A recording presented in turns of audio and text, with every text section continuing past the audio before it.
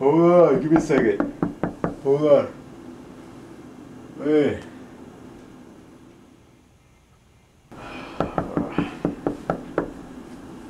Yeah, this better be good. Whatever this is.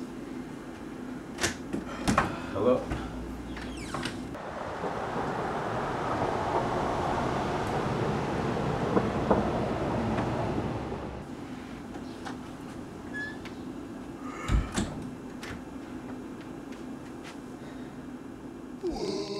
Hi, my name is Roberto Castillo. It's a little after 7 a.m., and I was hoping to be able to sleep just a little bit longer. You see, I've been up for most of the night working on homework for graduate classes, and waking up to the sound of someone knocking at my door is not how I wanted to begin my day. But since I'm up, I might as well get started with my morning routines.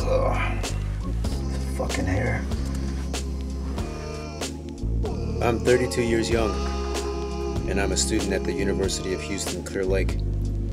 I'm majoring in something called digital media studies, and currently my life revolves around going to school. But life wasn't always like this. In fact, my morning routine has a little bit of history to it. I used to be a teacher. For seven years, I devoted my time and energy to my students. I taught high school and middle school kids how to draw and create with their minds. And because teaching was such a demanding job, I had to develop something that would help keep my mind, body, and soul in balance. So a few years ago, I made a commitment to take care of myself, and I've been doing it ever since. Every morning, I do a combination of stretches to help wake me up which then leads to some strength exercises I learned while I was in the Army. Oh, yeah, I'm also a veteran. But that's another story for another time.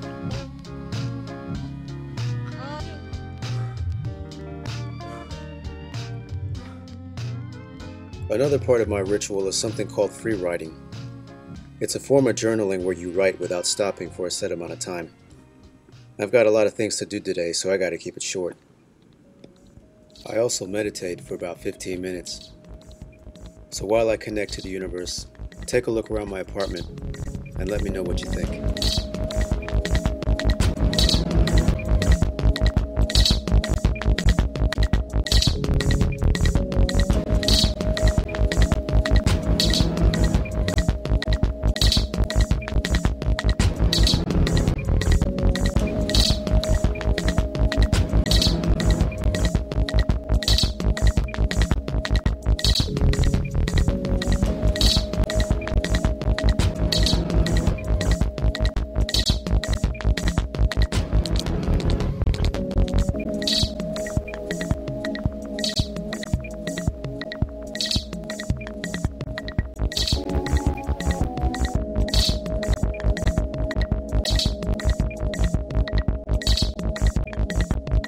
Now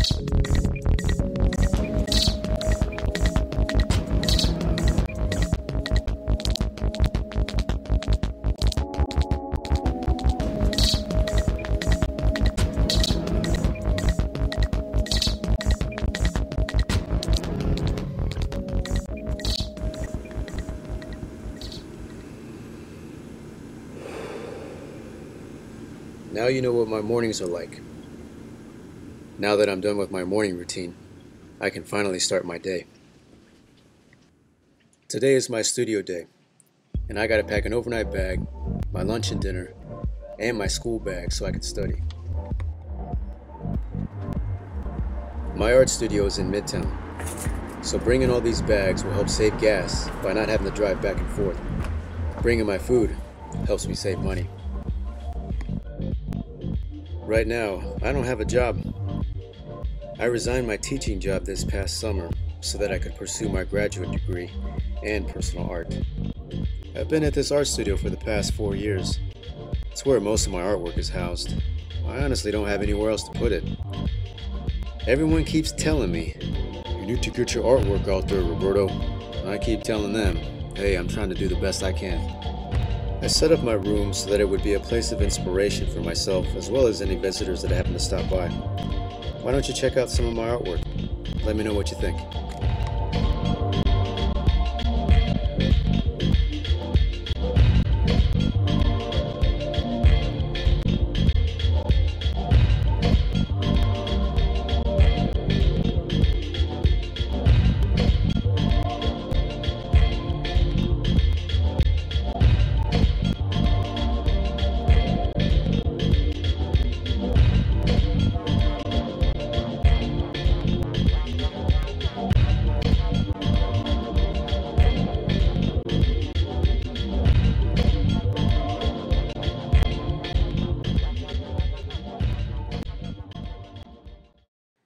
And now to do what I came here to do.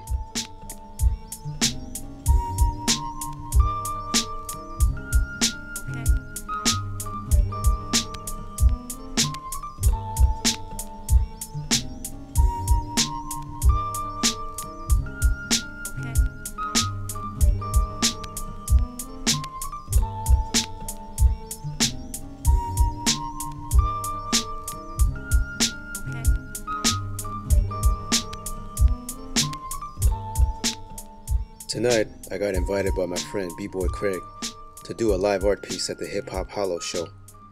My friend Margaret will be there too. She's doing the same thing.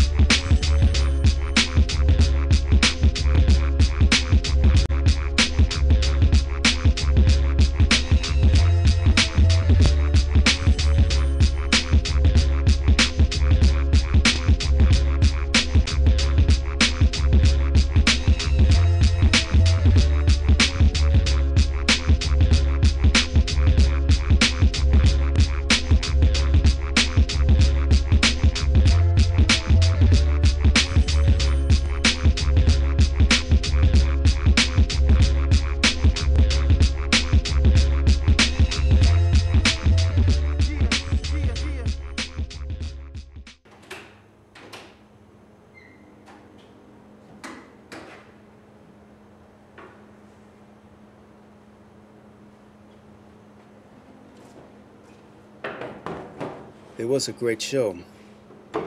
I made some new friends, and I got a lot of compliments on my art. I saw some people I hadn't seen in a while, and got invited out. But after my early rise this morning, I've earned a decent night of sleep. I had a good day today. I accomplished a lot. I could keep going, but I'm ready to call it a night.